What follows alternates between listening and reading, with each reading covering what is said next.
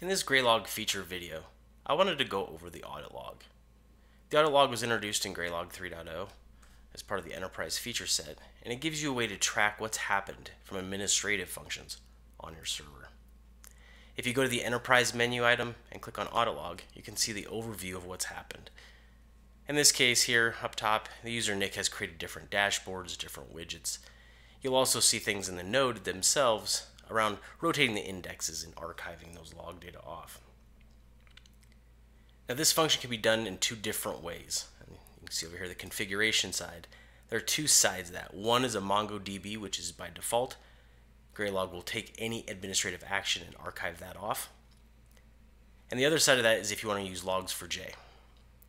You can configure that as well, and then input that into a flat text file.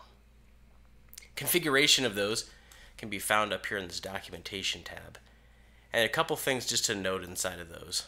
If you're doing the MongoDB side, you'll see that there's different parameters you can have as far as how long do you want to retain those logs. By default, it's going to be a one year, and we're going to do cleanup every hour. So we're going to purge off the old logs. And then as well, you can give it a tag for that, which in this case just underscore or audit underscore log.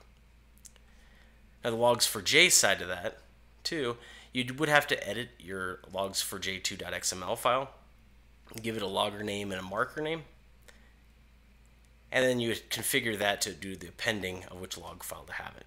All that is documented though in our document section, which you can find out on the Graylog docs side.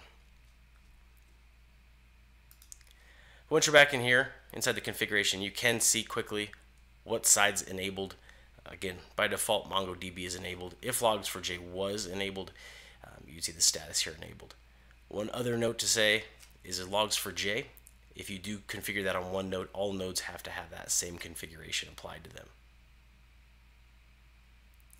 Hopefully that explains a little bit about the audit log function, how to configure it, where to find that data at, and happy logging.